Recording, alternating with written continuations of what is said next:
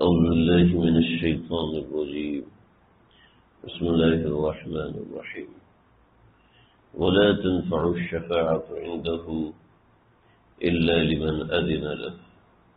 حتى إذا فزع عن قلوبهم قالوا ماذا؟ قال ربكم قالوا الحق وهو العلي الكبير. سورہ سبا ہے آیت نمبر تیئیس ہے. اللہ رب العزت ارشاد فرما رہے ولا تنفع الشفاعة۔ اور کفار کو، جن کو وہ پکارتے ہیں یا جو کوئی بھی کسی غیر کو پکارتا ہے۔ دنیا میں اس کا کیا حال ہے؟ اس کی بات اللہ نے پچھلی آیات میں ذکر فرما دی۔ اب اگلی آیت میں اس آیت میں بتا رہے کہ دنیا میں تو کسی بھی قسم کا کوئی نفع نہیں، لیکن آخرت میں بھی کوئی نفع نہیں۔ کہ ولا تنفع الشفاعہ ان کو کسی کی کسی بھی طرح کی سفارش نفع نہیں دے گی۔ البتہ ایسا نہیں ہے کہ وہاں پر سفارش نہیں چل رہی ہوگی، بلکہ وہاں سفارش چلے گی۔ اللہ لمن ادین اللہ ہاں اللہ جس کو اجازت دیں گے، وہی شفاعت کر سکے گا۔ یہ ایک بات ہے دوسری بات اگلے حصے میں ہے۔ اس کو سمجھ لیجیے۔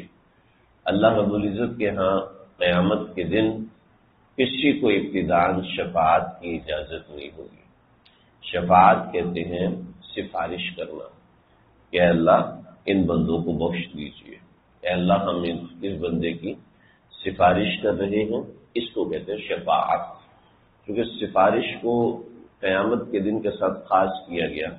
تو وہ جو سفارش ہوگی، وہ اصل میں سفارش نہیں ہوگی، بلکہ ایک طرح کی درخواست ہوگی اور اللہ اس درخواست کو من معن قبول فرمائیں گے۔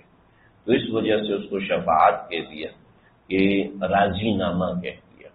تو بہت سے حضرات ایسے ہوں گے جن کو اللہ وہاں شفاعت کا اختیار دیں گے۔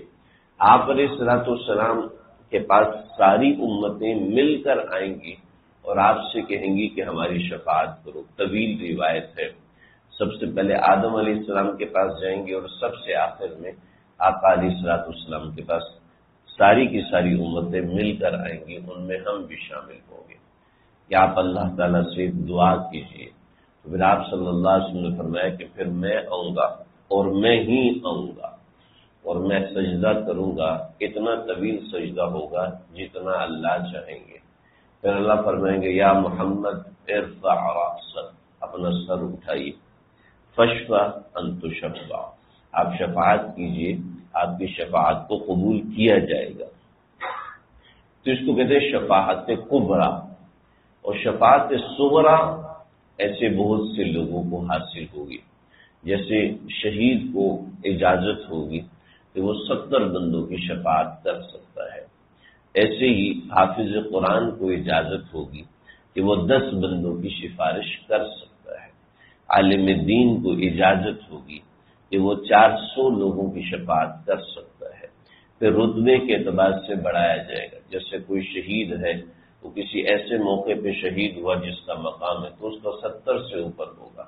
ایسے کوئی حافظ قرآن ہے، وہ حفظ قرآن کے ساتھ اس کے ساتھ کچھ اور معاملات بھی خاص ہوئے، تو اس کو دس سے اوپر کا سرٹیفکیٹ دیا جائے گا۔ ایسے ہی عالم دین ہے، اس کا درجہ بڑا ہے اور وہ حدیث کا بھی عالم ہے، فقہ کا بھی عالم ہے، وغیرہ وغیرہ وغیرہ۔ تو اس طریقے سے چھوٹی شفاعتیں اللہ رب العزت مؤذن کو اجازت ہوگی۔ ایسی فقراء کو اجازت ہوگی، بعض خاص قسم کے فقراء، ان کو اجازت ہوگی۔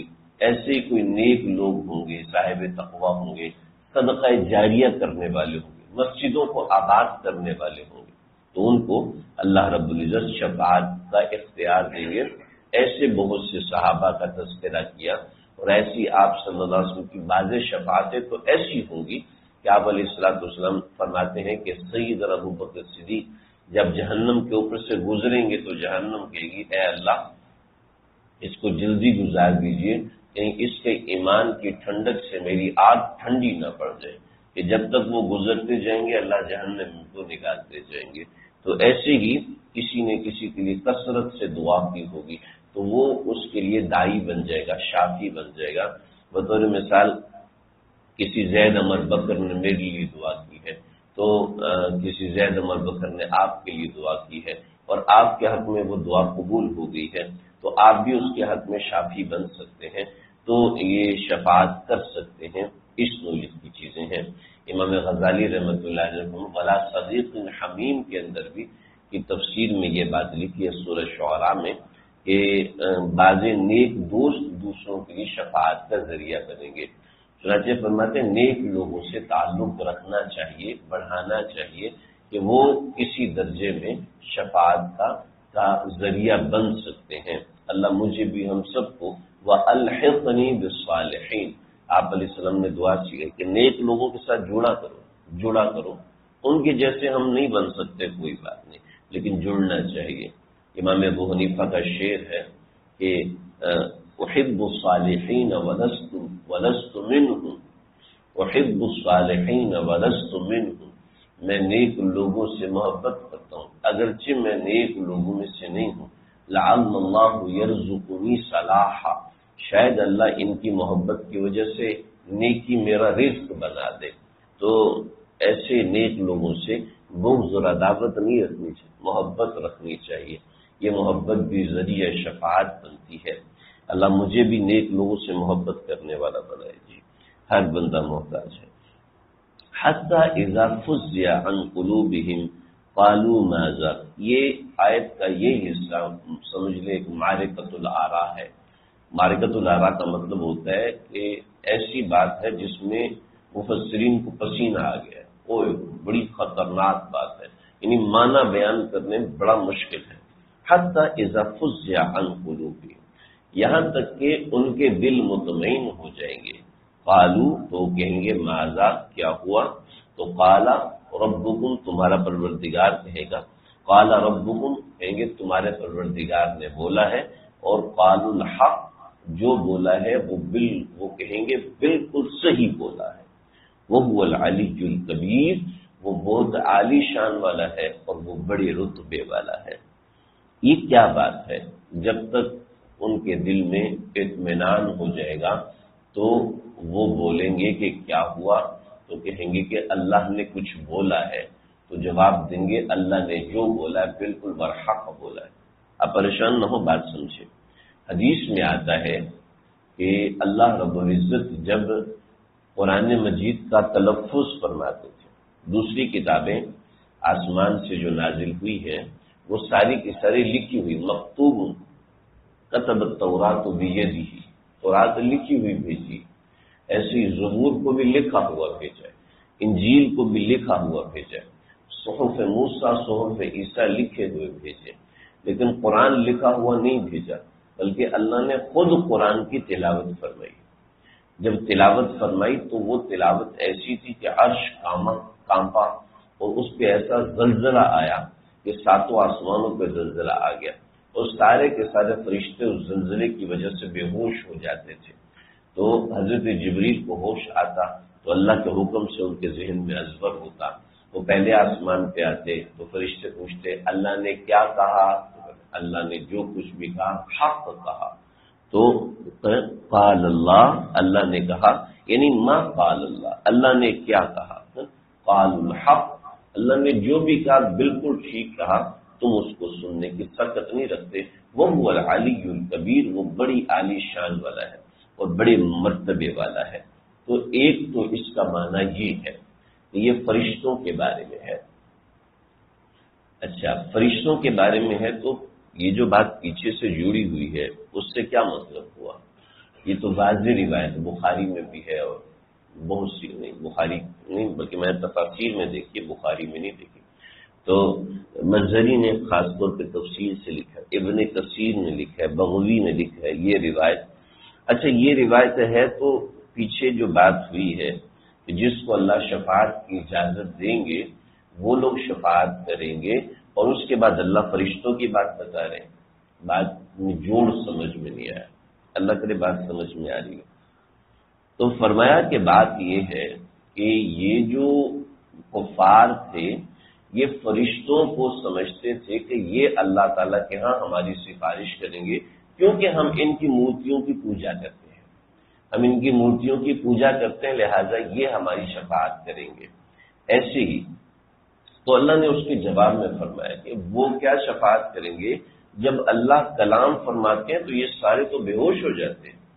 اور جب ان کو ہوش آتا ہے تو تب بھی ان کے دل کام نہیں کر رہے ہوتے۔ حتیٰ عزا فز یا انکولو جب اللہ خود ان کا دل مطمئن کرتے ہیں، تو دل مطمئن کرنے کے بعد یہ پوچھتے ہیں کہ اللہ نے کیا کہا؟ تو پھر ان کو جواب ملتا ہے، وہ سننے کی سخت تم نہیں رکھتے جو اللہ نے کہا ٹھیک کہا ہے، وہ اونچی ذات ہے۔ وہ اتنی سی بات سننے کی سخت نہیں رکھتے، تمہاری سفارش کیا کریں گے؟ یہ مطلب ہے اس بات کا۔ تو ایک معنی یہ بیان، اور بہت سے معنی ہیں، ایک معنی یہ بیان کیا ہے جو بات تھوڑی تھوڑی سمجھ میں آ رہی ہے۔ دوسری بات، حتیٰ اضافہ یا انقلوبی جو شفاعت کرنے والے ہیں یعنی سب سے پہلے نبی اکرم صلی اللہ علیہ وسلم، اور اس کے بعد دیگر بہت سے لوگ جن کا میں نے ذکر کیا، یہ سارے شدید گھبراہٹ میں ہوں گے۔ وہ ترنا وما عذاب اللہ شدید یہ سارے لوگ شدید گھبراہٹ میں ہوں گے۔ جب یہ لوگ شدید گھبراہٹ میں ہوں گے تو گھبراہٹ کی وجہ سے وہاں کسی کو کچھ نہیں پڑی ہوگی۔ ہر ایک کہے گا، نفسی نفسی۔ فیضا جا جہنم آئے گی اور وہ چیخ مارے گی۔ جب وہ چیخ مارے گی تو روایت میں آتا ہے، اگر کسی کے پاس ستر نبیوں کا عمل بھی ہوگا تو وہ بھی گھبرائے گی۔ کہے گا، نفسی نفسی، اللہ مجھے بچائیے مجھے بچائیے۔ تو یہ جو گھبراہٹ پیدا ہوگی، یہ جو گھبراہٹ پیدا ہوگی، یہ گھبراہٹ اللہ دور فرمائیں گے اور ایسے ہی اہل ایمان کو دنیا میں گھبراہٹ رہتی ہے، تھوڑی تھوڑی گھبراہٹ، پریشانی رہتی پتہ نہیں کیا بنے گا؟ اللہ کے یہاں پوچھ لیا تو کیا ہوگا؟ تو اہل ایمان کو گھبراہٹ رہتی ہے۔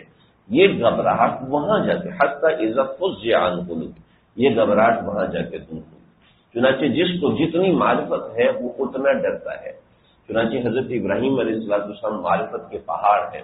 ان کے پاس لوگ آئیں گے کہ آپ ہماری شفاعت نو نو نو نو نو نو، میں نہیں کرتا، میں نہیں کرتا۔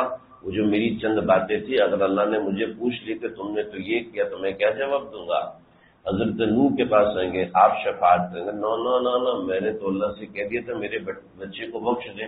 اللہ نے کہا تھا ان عمل غیر سال یہ تمہارے گھر میں ان نہ سمن اہل ان عمل غیر سال وہ تو میرے گھر میں سے نہیں تھا، میں ایسے دعائیں کر رہا تھا کہ اللہ نے مجھے پکڑ لیا تو میری خیر نہیں۔ تو ایسے ہر بندہ وہاں گھبرائے گا۔ تو حتیٰ کہ فضیا انقلوب اللہ اس گھبراہٹ کو دور فرمائیں گے اور دور فرمانے کے بعد جن کو اجازت ہوگی، انہیں کی سفارش کریں گے، ورنہ کسی کی نہیں کر سکیں گے۔ تو دوسرا یہ مطلب ہے اس آیت مبارکہ کا کہ اللہ تعالیٰ وہاں پر گھبراہٹ دور کریں گے۔ تیسرا مطلب یہ ہے کہ جن کی شفاعت کی جائے گی یعنی مجھے فلاں کی شفاعت ملنی، مجھے رسول اللہ صلی اللہ علیہ وسلم کی شفاعت ملنی ہے، اللہ ہم سب کو دے جی۔ تو ان سب کے دلوں سے، ان سب کے دلوں سے اللہ گھبراہٹ دور کریں گے۔ اسی طرح کفار کے دلوں سے بھی گھبراہٹ دور ہوگی۔ جب کفار کے دلوں سے گھبراہٹ دور ہوگی تو ان کو پتہ چلے گا ہمارا انجام کیا ہے۔ پھر کہیں گے اللہ نے ہمارے بارے میں کیا کہا؟ تو کہیں گے وہ تمہارے سننے کا نہیں ہے، تمہارے لیے جہنم کا عذاب ہے۔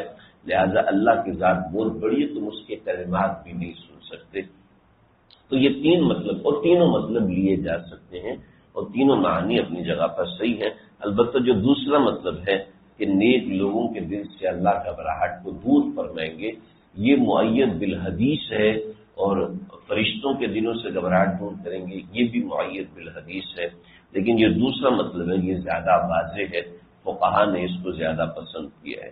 تو بھئی یہ بتانا مقصود ہے کہ وہاں پر مکمل قدرت اللہ کی ذات کو ہوگی، ہر ایک کے دل کے اوپر قدرت ہوگی، ہر ایک کے نفس کے اوپر قدرت ہوگی، ہر ایک کی جان کے اوپر قدرت ہوگی۔ اللہ تعالیٰ اس دن کی گھبراہٹ جو ہے، ہماری دور فرمائے۔ اور جلد از جلد دور فرمائے، یہ آیت پڑھ کے تو یہی آتا ہے کہ اس دن میں اللہ ہر ایک کی گھبراہٹ کو دور کریں گے، اہل ایمان کے قلوب میں جو گھبراہٹیں ہیں، اللہ وہیں پر جا کے دور کریں گے۔